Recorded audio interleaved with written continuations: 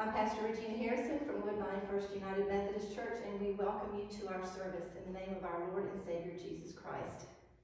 Will you pray with me? Gracious and loving God, we thank you so much for this beautiful day.